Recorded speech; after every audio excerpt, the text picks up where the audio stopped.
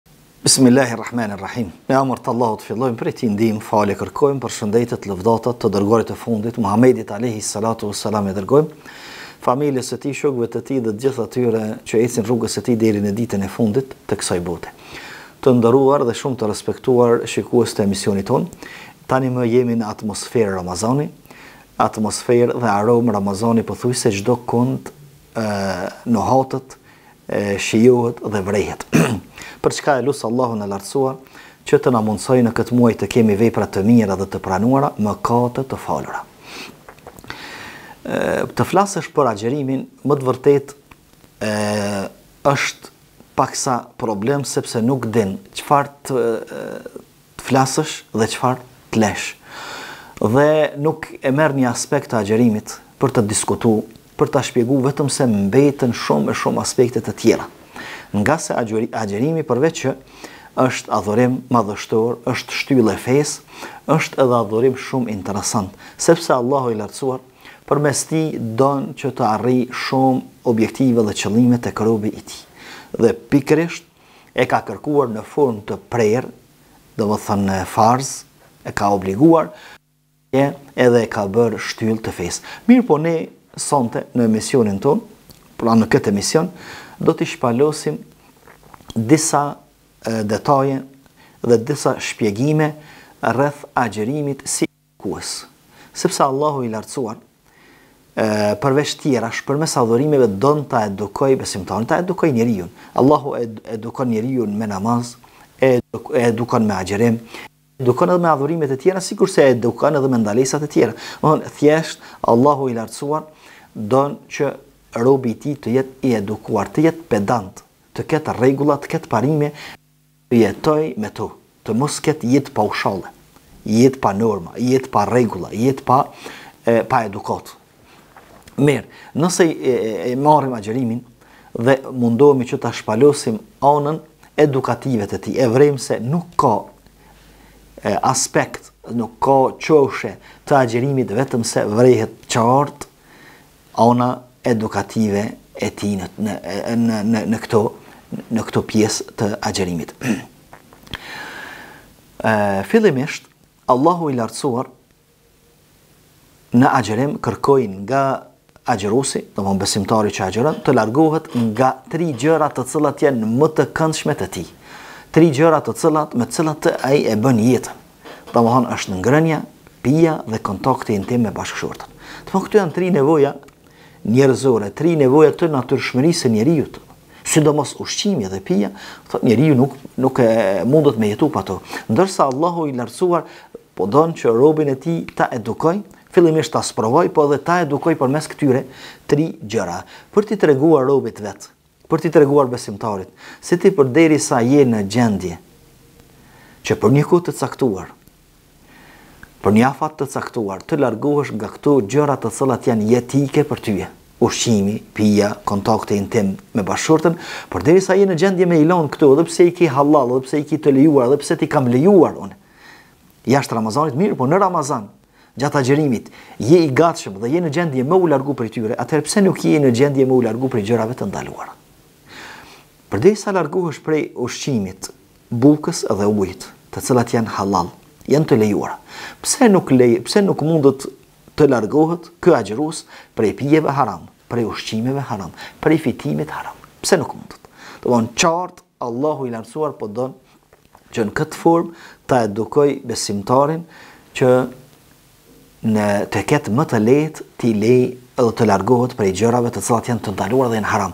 Pra, gjërat e lejuara po po largohesh prej tyre, vetëm e vetëm për hir të Allahut, sepse Allahu ka urdhëruar dhe për ta kryer një urdhër të Allahut, atëherë çfarë si qëndron puna me urdhrat e shumta të Allahut të lartësuar për gjërat e ndaluara? Allahu urdhëroi për ne na urdhëroi neve për agjërim një herë në Kur'an. Një herë e përmendi agjërimin dhe ne e veprojmë atë. Ndërsa na ndaloi disa herë nga amoraliteti zinoja, nga pirja e alkoolit, nga bixhozi, nga e, domethënë pijet ose narkotiket e ndryshëm të cilët janë edhe më të rëndë se sa alkooli. E disa herë Allahu i lartësuar kërkoi prej neve që të ndalohemi prej këtyre gjërave. Pse nuk e bëjmë këtë? Përderisa prej neve kërkoi vetëm një herë agjërimin, të mos mos pim. Në anën tjetër kërkoi prej neve disa herë, ashtu siç e përmenda, që të largomi nga gjërat e ndaluar. Pse pra nuk e veprojmë? Si mundemi të veprojmë dhe të ndalohemi nga gjërat e lejuara dhe nuk mund të ndalohemi nga gjërat e ndaluara. Pastaj të nderuar dhe shumë të respektuar vëllezër dhe motra. Shtoja kësaj edhe një element tjetër. Ai është se Allahu i lartësuar ia përgatiti besimtarit terrenin në këtë muaj të madh, pra gjatë agjërimit ia përgatiti terrenin e ndryshimit. Si ia përgatiti terrenin e ndryshimit? Ia përgatiti përmes dy mundësive të mëdha të cilat nuk i ka jashtë Ramazanit. E para, Thotë Pejgamberi alejhi salatu ue selam, Kur vjen muaji i Ramazanit, hapen dyert e Xhenetit, mbyllen dyert e Xhehenemit dhe prangosen shejtanët. Çfarë do të thotë kjo? A je ndalë ndonjëherë me mendu se pse ndodhin këto gjëra? Pse ndodhin pikërisht në Ramazan? Pse ndodhin pikërisht gjatë kohës kur ne agjërojmë? Do të thotë Allahu i hap dyert e Xhenetit, i mbyll dyert e Xhehenemit. Do të thotë aroma e Xhenetit, Sikurse po e ndijmë, edhe sikurse po e vrejmë gjatë këtyre ditëve të agjërimit, me të vërtit po vrejhet aroma e xhenetit, sepse njerëzit janë më të butë, njerëzit e veprojnë, i veprojnë punë të mira më shumë, janë më të qetë. Gjithashtu mbyllën dyert e xhehnemit, do të thot era e xhehnemit edhe punët të cilat shpijnë në xhehnem janë të vështira me i bo këtë, këtë muaj.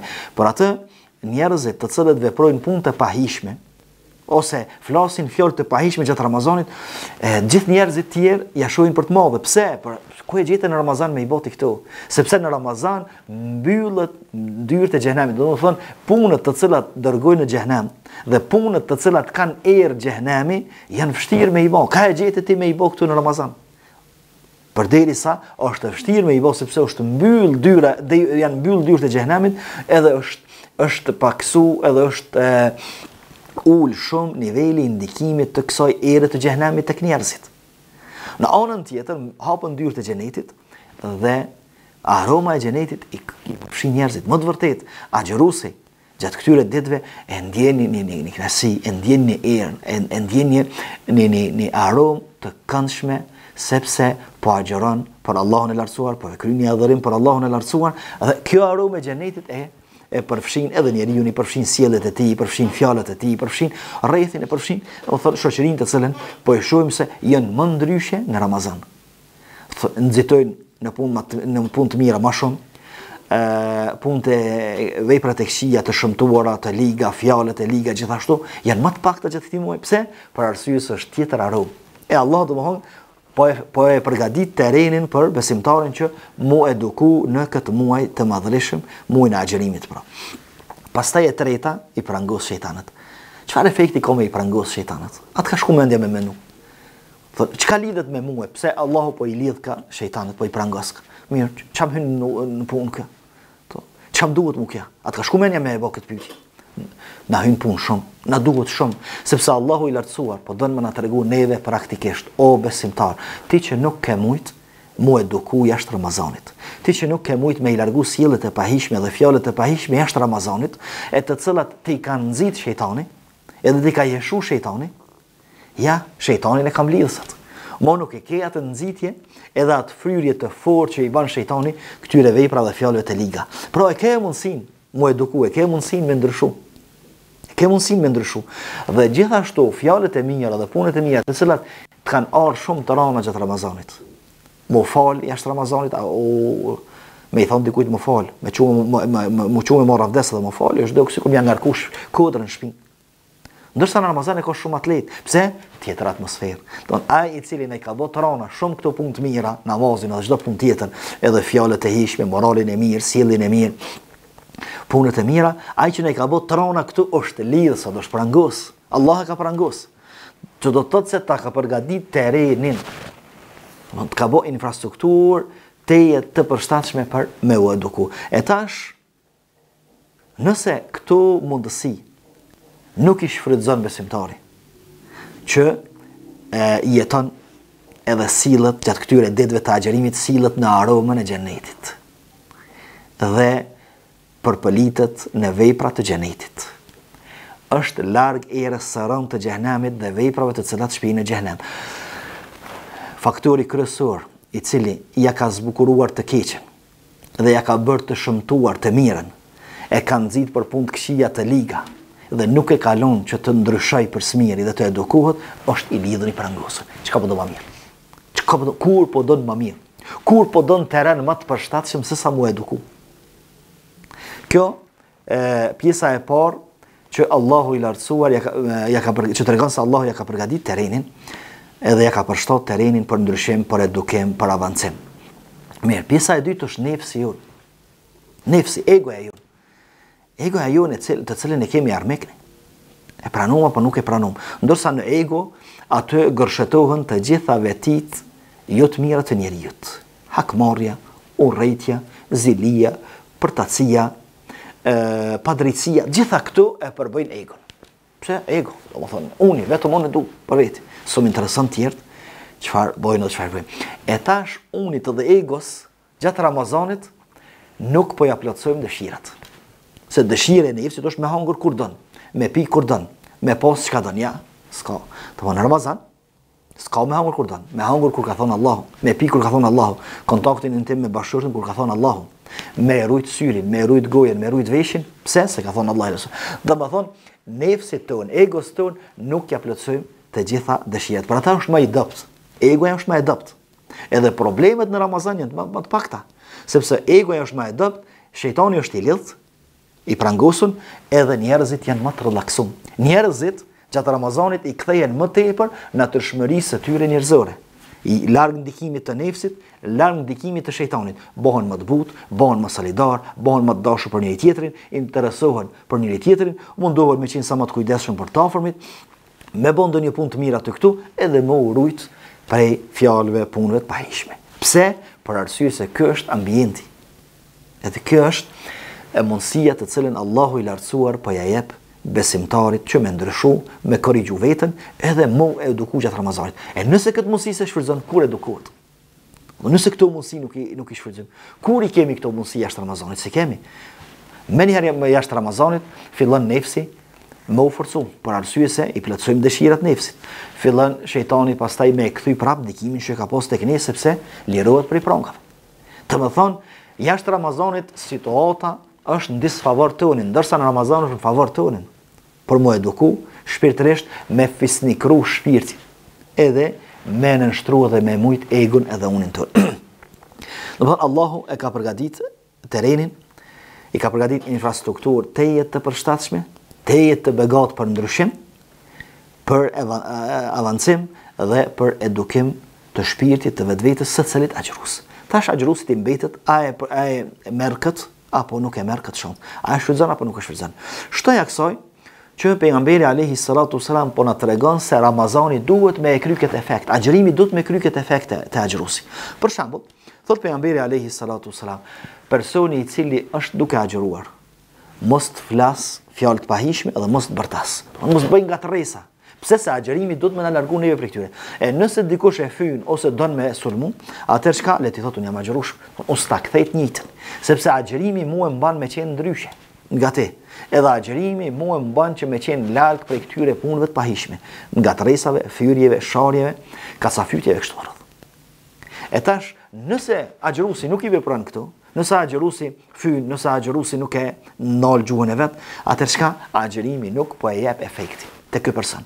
Jo jo jo problemi te agjërimi, problemi është te personi, sepse personi nuk po e lejon agjërimin që me ndiku tek shpirti i tij edhe tek qenia, qenia e tij. Pastaj gjithashtu pejgamberi alayhi salatu wassalam thotë kush nuk e lën fjalën e shpifur, rrenën edhe mashtrimet, edhe të vepruarit me ta, Allahu nuk ka nevojë që ky njeri të mos hajë të mos pi.